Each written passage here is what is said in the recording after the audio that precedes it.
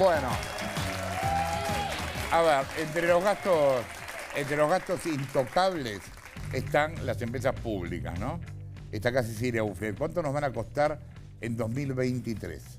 Mira, primero, eh, en el, último dato consolidado lo hizo, lo tiene un informe de coalición cívica que hizo Juan Calandri. En el 2021 sumaron de déficit total 8.100 millones de dólares. Para tener una idea de cuánto es eso, es, más de la mitad de lo que se gasta en subsidios a la energía de los que hablamos todo el tiempo que hay que recortar. Y cuando mirás el presupuesto hacia, hacia este año, no es tan distinto lo que parece que van a terminar gastando el año que viene. ¿Cuáles son en el presupuesto del 2023, que después cuando se termina ejecutando, la verdad siempre termina con un desfasaje más grande que ese, eh, las empresas con más nivel de gasto operativo, de, déficit operativo entre lo que gastan y lo que, lo, que las más ineficientes? Las más ineficientes, las que más pierden entre lo que ingresa y lo que, y, lo que, y lo que gastan. Eh, en ARSA, primero que todas, 541 mil millones de pesos eh, va a perder en ARSA en el 2023, según lo que dice el presupuesto. Trenes Argentinos, en realidad la operadora, una de las principales operadoras de trenes, 264 mil millones de pesos. AISA, la empresa de aguas, 117 mil millones de pesos. Aerolíneas, que es un clásico en esta lista, 66 mil millones de pesos.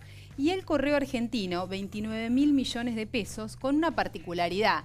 Hasta acá el correo nunca entraba tan alto en el nivel de déficit de las empresas públicas. ¿Cuándo empezó a pasar eso? En la gestión de Alberto Fernández, el correo está a cargo de, eh, la, cámpora. sí, exactamente. Eh, es, eh, la cámpora es em, una, una funcionaria Piesorowski, eh, la, que, la que está a cargo del de, el correo, y hay una particularidad, a pesar del boom de la logística, del, despacho de paquetes y demás que ocurre en la, en la pandemia, el correo desde el 2019 todos los años pierde, no, no solo que pierde plata, pierde nivel de operación, se achica la operación ah. cuando en realidad los correos que van ganando esa partida van eh, ganando. Tengo un datito más que no tiene que ver tanto con las que más pierden específicamente, pero sí con eh, una particularidad, digamos, con la que más diferencia tienen.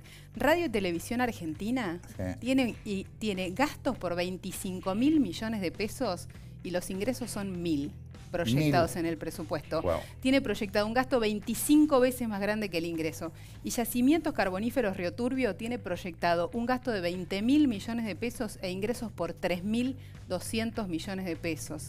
más de seis veces de diferencia. El informe de Coalición Cívica dice que eh, la OCDE determinó que las empresas públicas son el sector de más corrupción eh, transnacional en el mundo, más que la salud o la aduana, sectores clásicos de ese movimiento, y se calcula que el 10% de la facturación de las empresas públicas es como una medida global, es corrupción.